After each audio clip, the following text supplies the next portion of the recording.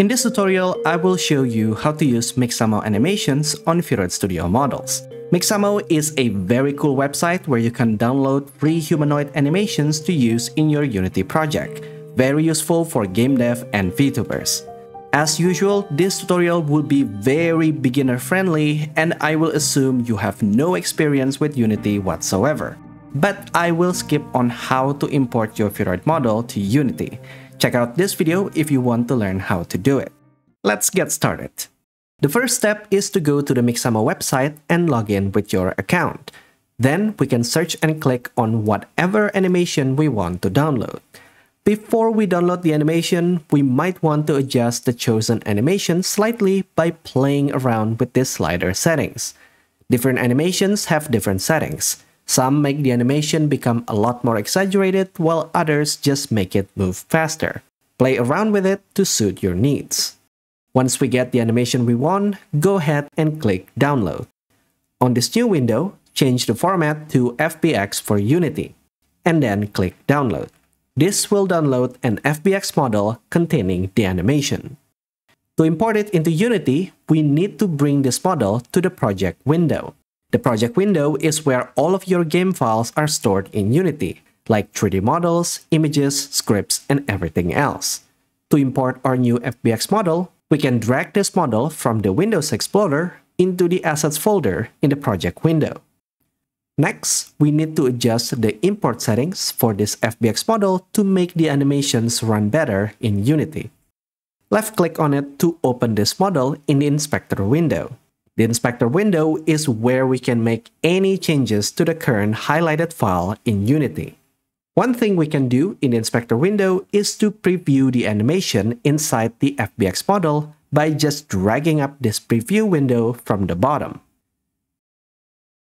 The first setting we need to change is to set the animation compression to off. Then, if the animation is supposed to repeat itself, we can enable loop time and click apply. And finally, go to the rig tab and change the animation type from generic to humanoid. Otherwise, our animation will not work with Vroid models.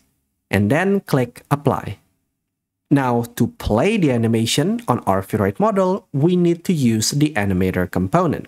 In Unity, all game objects are controlled by these components attached to that game object.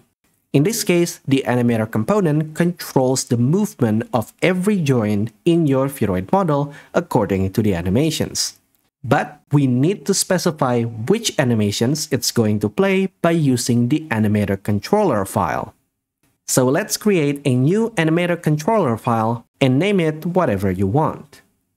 Then make sure to click to highlight your Vroid model in the hierarchy window so that the inspector window is currently viewing this model.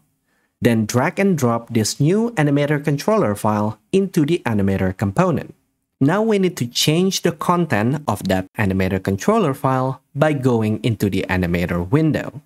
This is a very flexible tool for managing animations in Unity. For example, you can use this to handle different kinds of walking and running animations depending on the character's movement speed and direction. But for this tutorial, we're going to simply display a single animation. In the project window, let's click the little triangle next to the FBX file to preview its content. Here we can see every little file that made up this FBX model, but for now, we just need its animation, which is marked in Unity by this triangle icon. We can just drag this animation to the animator window.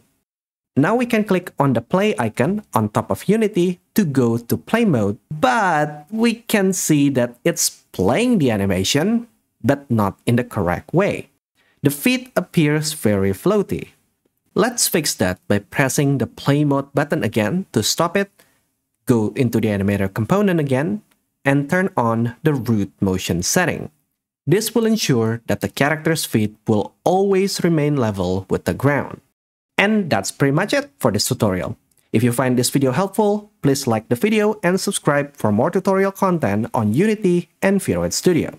If you want to continue watching, I recommend my tutorial on how to add more expressions to your Vroid model with just a few clicks. It's a very fun video that I worked so hard on.